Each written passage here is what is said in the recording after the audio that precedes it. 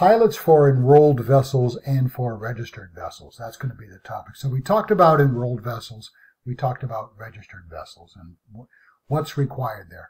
You know, an uh, enrolled vessels need a, a pilot on board, but it needs to be what's called, as I explained, a federal pilot. Registered vessels need a state pilot. And so we, we talked about that. But we're going to go a little bit further. So enrolled vessels are U.S. flag vessels. They trade from U.S. port to U.S. port. They thought of as Jones vessels. So Jones Act vessels. So here's the deal. Uh, the law says that every vessel at all times has to be under the sort of command and control. We'll use that. The control uh, have a pilot on board. Pilotage is required in U.S. waters. And um, but the thing about enrolled vessels is that the crew, the captain of the vessel, or actually any of the deck officers, could be couldn't could be the acting as the pilot of the vessel. And as I said to one class, but I didn't say to every class, what could happen there? You know, you could have somebody who, figuratively speaking, was the captain, and uh, they were doing their captain. Maybe this is a tug and barge, a big articulated tug and barge, or something like that. Could be a small tanker. It's not likely to be a real big ship, but uh, somebody somebody involved in coastwise trade, and uh, generally, generally, it's going to be um, in the oil trade. That's a very general statement.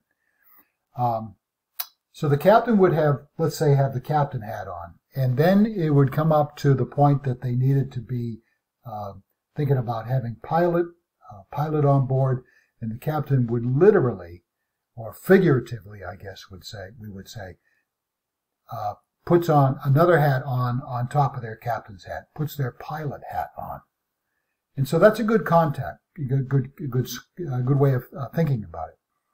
They've got their captain's hat on, and then they put their pilot's hat on top of that. And so they're acting as, yeah, they're not only the captain, but they're also acting as the, as the pilot. So how can that be? Well, they are the captain of this vessel. It is an enrolled vessel, and such so that they can be um, their own pilot. They've done the uh, they've done the requirement. What's the requirement for this to be this pilot? It's going to be somebody who has their federal, their U.S. Coast Guard style pilot. They've got that endorsement on their license. They've done the draw the chart. They've taken the test. They've had this 12 round trips, and they've done that while they've been a, uh, you know, a, a, a newer mate or a newer captain aboard the ship so they can they can wear both hats at once. They don't need to do the other thing. They don't need to take a state pilot. Remember, it's registered vessels that need to take a state pilot. That's somebody who's regulated by the State Pilot Commission. That's somebody who is uh, been tested more thoroughly. Somebody who's been an apprenticeship. That is somebody for a U.S. flag vessel operating in foreign trade or a foreign flag vessel coming into the United States. Translation, they have that person, that state pilot has to have all of these federal requirements, plus the apprenticeship, more local knowledge, more evaluation, more assessment. They have to join that pilotage organization.